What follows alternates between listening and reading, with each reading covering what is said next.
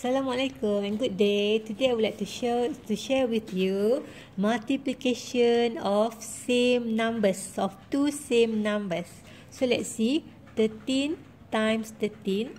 So this one is 1 times 1 becomes 1.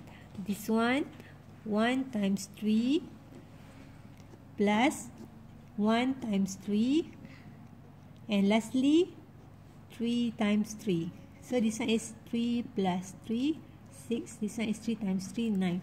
So the answer is 169. When we check back, 13 times 13 using conventional way, 3 times 3, 9, 3 times 1, 3, 3 1 times 3, 3, 1 times 1, 1. So becomes 169. So correct. Next we do the second number. So now we do the second number. 99 times 99. So here 9 times 9 81.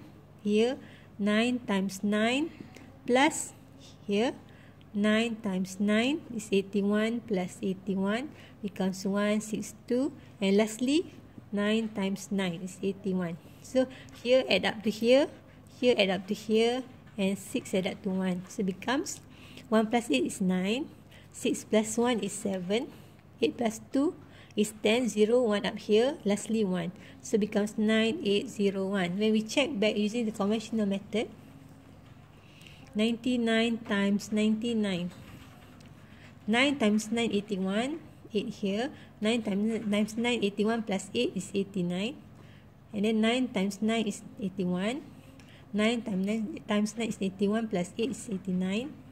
So when we add up, 0, 1 plus 0, 1. 9 plus 1 is 0. Up here 1. 1 plus 8, 9 plus 9 is 18. 8, 1 here is 9. So 9, 0, 8, 0, 1 with 9, 8, 0, 1. Correct. So we can use this method for any same numbers uh, for multiplication uh, among them. Thank you. See you soon.